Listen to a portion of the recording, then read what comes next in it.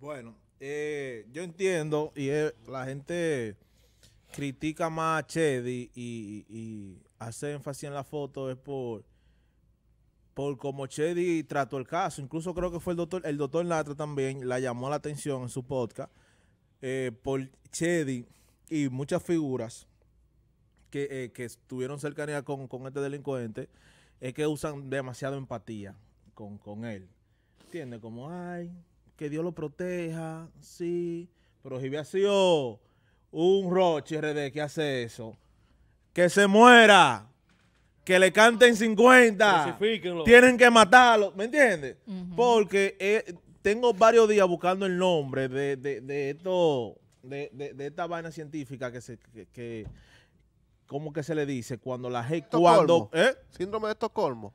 Esto, esto colmo que se llama Síndrome de cuando, Estocolmo. cuando tú, cuando la persona, por ejemplo, cuando el delincuente es bello o, o- la persona, el delincuente o la persona mala tiene unos rasgos físicos, ¿verdad? Llamativos, la gente como que le tiene como más, ¿me entiendes? Eso tiene que ver con el atractivo. Mientras Eso cuando es- un tipo que no es atractivo ni nada, quieren crucificarlo. Cuando el tipo es un delincuente, por ejemplo, en el caso del modelo, ha, ha pasado varios, varias veces, pasó recientemente con el tal chiquito pasó con un, de- con un delincuente en Estados Unidos que salió de la cárcel siendo modelo. Porque según su, su, su atractivo, la gente como que es más sumisa, como, como que empatía, como que le da como pena. ¿Me entiendes? Y eso influye mucho. Por eso eh, eh, hay que estudiar bien eso, porque realmente cuando tú eres bien aparente y tú eso lo resaltas, eh, tú tienes muchas cosas eh, por adelantada. El síndrome de Estocolmo es cuando, por ejemplo, a- yo te secuestro a ti y com- eh, ya, ya eh, ¿cómo te digo? Como compartimos demasiado, ya tú te vuelves, ya tú te vuelves parte. O sea, tú estás conmigo. ¿Me entiendes? Ese es el síndrome de Estocolmo. Ok, ok. Hay Pero- varios, hay varios, hay otro que se llama ibri, ibri yo qué, que es lo que se usa mucho en este país, que es que, por ejemplo, las mujeres, en, much- en muchas mujeres, que les gustan los tigres malos, los delincuentes, ¿me entiendes? Son, eso también una doctora lo estaba explicando. Y todo eso yo eh, ha salido a relucir por este caso, de, que como un, como un tipo que entró a un banco, roba, un ladrón de banco, entró armado por poco y provoca, ¿verdad? algo, algo trágico. Le puso la pistola, o sea, apuntó a un, a un señor mayor y de todo. La gente, la gente está usando empatía con él, simplemente porque él es una persona atractiva, una persona bella, un, una- un personaje que era modelo, que era bueno, que era sano. Yo qué. ¿Me entiendes? Entonces, eh, eh, eso es lo que se está criticando realmente. El nivel de hibristofilia, vamos a le Y, briti- conoce. y britifilia, que yo lo busqué ahí en Google y, lo- y- y- y en TikTok y escuché explicaciones de, de eso, de que también, porque que hay, hay varios, ¿cómo se pudiera Está muy alto en el país ese nivel. Aquí se usa mucho. Demasiado. Y el, ot- y el otro que yo te decía, que no sé todavía, ese de Estocolmo es otra vaina, pero Sí, el que yo te tiene digo de, de la persona tiene que ver, atractiva. Como decía Jean Paul, con lo, con lo que es el secuestro. Sí. Pero esas son muchas cosas que eh, eh, tienen, tienen su estudio psicológico, realmente. Ese, ese tipo de comportamiento que usa, que usa la gente, y principalmente aquí en República Dominicana, que inconscientemente se hace, pero todo eso tiene un porqué. Yo decía el pasado viernes que con esto yo espero que la Policía Nacional elimine lo que se llama un perfil sospechoso. ¿Cuál es el perfil sospechoso? Usted y yo salimos en una pasola, ya somos un perfil sospechoso. Andamos en una pasola, color morenito, con una gorra. Ya no existe el perfil sospechoso porque las estadísticas lo han demostrado y como lo dije el pasado viernes, la mayoría de personas, usted busca, la mayoría de criminales y delincuentes no tienen trenza.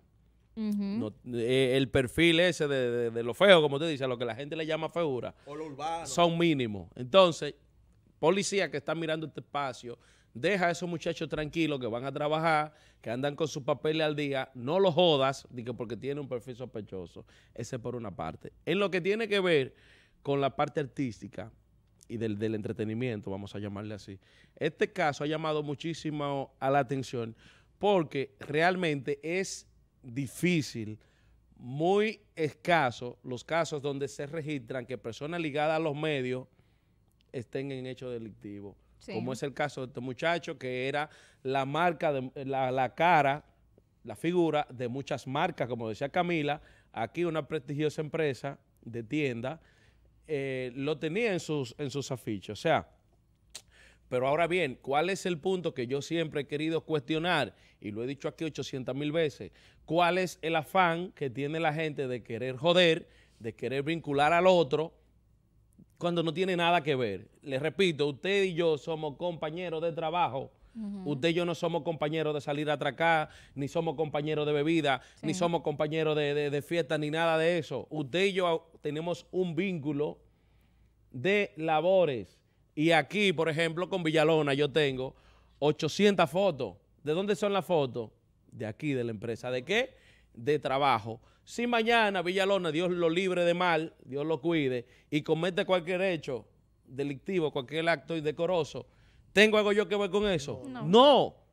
Porque que mi día a día es trabajo. Yo ni siquiera con mi familia comparto mucho para que se me quiera vincular por una simple foto a cosas que yo no tengo nada que ver y que quizás yo ni de acuerdo estoy. Entonces, ¿cuál es el afán de joder? Por otra parte, Chedi y Fautomata, aquí que tanto se habla de regular medio, a Chedi, espectáculo público, como controla a, a, Foque, o sea, como quieren controlar a Foque, tiene que venir espectáculo público, decirle así, decirle, Chedi, vea, siéntese ahí, usted es una socióloga, póngase ese humor, póngase a hacer películas, usted lo que es actriz, deje de estar, todos los picheos de darle brincando, deje de estar hablando de cosas que usted no sabe. Fautomata, ve, tú también, ve. Tú eres comediante, yo así, a Fautomata un, con un cocotazo, tú eres comediante, ponte a hacer tu comedia, ponte a hacer tu vaina, cállate tu boca. Porque cada vez que hablan es para saltar con un disparate. y tú sabes cuál es el tú sabes cuál es el problema de eso.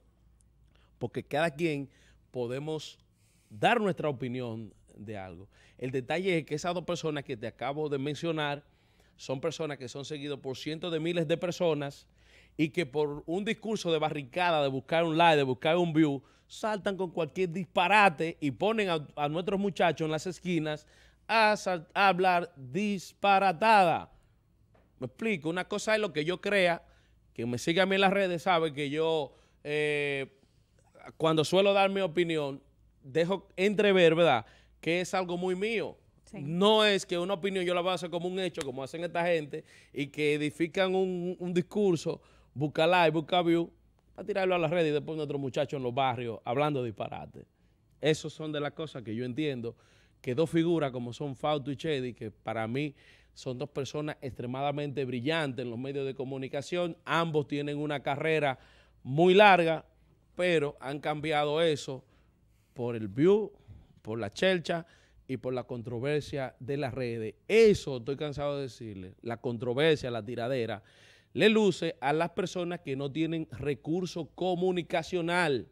Atención, gente que nos está mirando, si usted es talentoso, no caiga en esa vaina de que usted está tirando y, bajando al más bajo nivel. No, sigue en su línea, no se meta en esa vaina, para que no tengan el mismo resultado que están teniendo ellos, que poco a poco están siendo excluidos por la sociedad porque se están desvirtuando de su carrera matriz, de su carrera de origen.